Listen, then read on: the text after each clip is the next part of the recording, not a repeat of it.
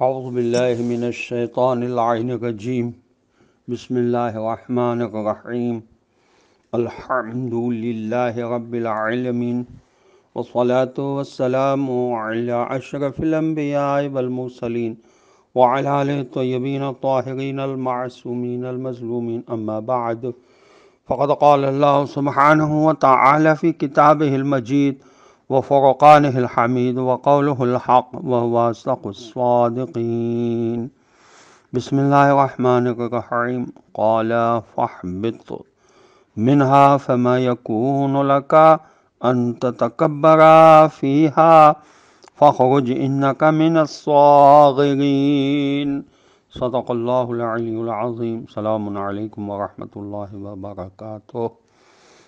अल्लाह तबारक ताली का शुक्र है कि उसने ये तोफ़ी अदा फरमाई कि आज की चौथी आयत की तिलावत का शरफ़ मैंने हासिल किया, जो सूरह मुबारक आराफ की आयत नंबर तेरह है।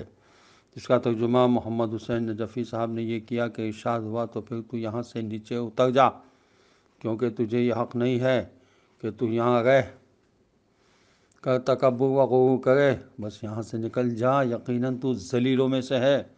अल्लाह मजीशान जवादी ने यह तर्जुमा किया, फरमाया तो यहाँ से उतर जा, तुझे हक नहीं कि तू यहाँ गरू से काम ले, निकल जा कि तू जलील लोगों में से है।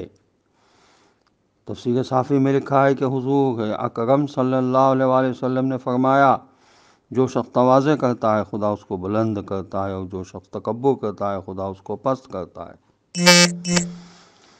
हज़रत इमाम जाफ़र सदक वसलाम ने फरमाया तकबर इलाहाद का पहला जीना ये तफसी अनवार ने जब में लिखा है, सफ़ा चौदह पे।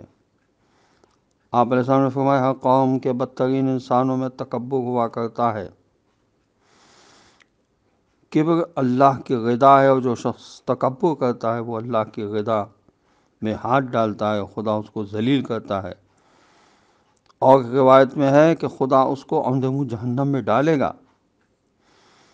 आप जहन्नम में एक वादी का नाम सकर है जो सिर्फ़ मतकबरीन के लिए है। ये तफसर अनवार नजफ़ में भी लिखा है सफ़ा चौदह पर।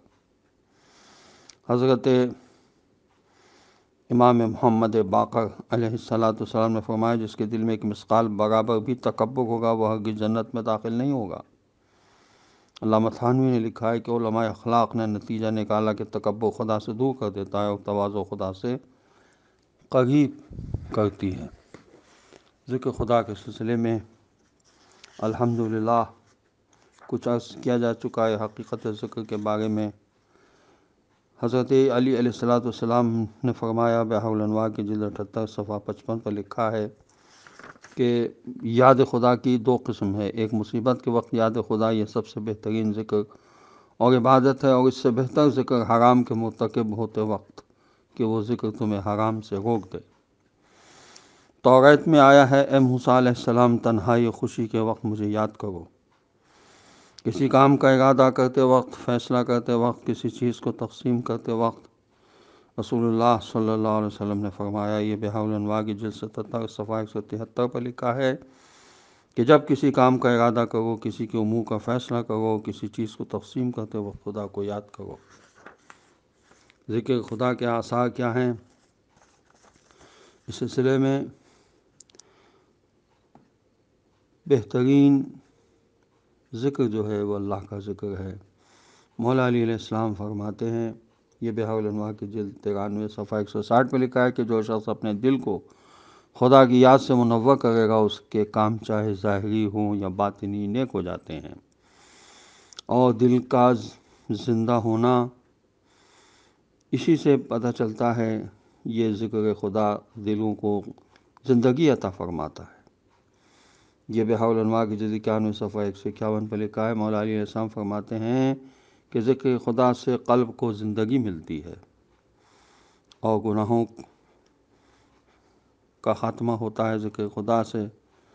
बिहावलनवा की जिल तेरह सफ़ा तीन सौ सैंतालीस में मौला अलीम का ये फरमान लिखा हुआ है कि खुदा को ज़्यादा याद करोगे तो तुम्हारे गुनाह माफ़ हो जाएँगे। गरज ज़िक्र खुदा जो है वो गुनाहों को धो डालता है। इंसान को गुनाहों से पाक कर देता है वाखिर दावान अलहमदिल्ला रबालमीन वरहमल वर्का